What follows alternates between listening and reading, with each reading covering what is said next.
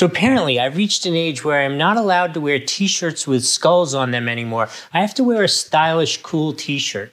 So this t shirt is from Nitagut. I hope I'm pronouncing that right. It's kind of a hard name to pronounce, but uh, this is so comfortable. And Nikki would tell you, I am really annoying trying to find comfortable clothes because I'm kind of picky.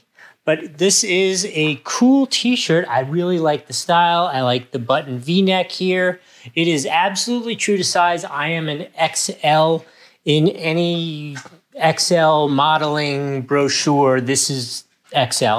The beautiful Miss Nikki standing behind the camera telling me that it makes my silhouette look amazing because it's not some like billowing cut.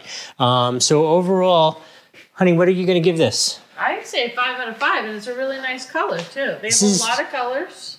This is definitely a five out of five. It comes in many colors and they're attractive colors. Like this is a cool color with some style and flair to it, not that gray and black with skulls and flames that she always seems to want me to wear. In any case, I hope this was helpful. See you next time. I'm Doug.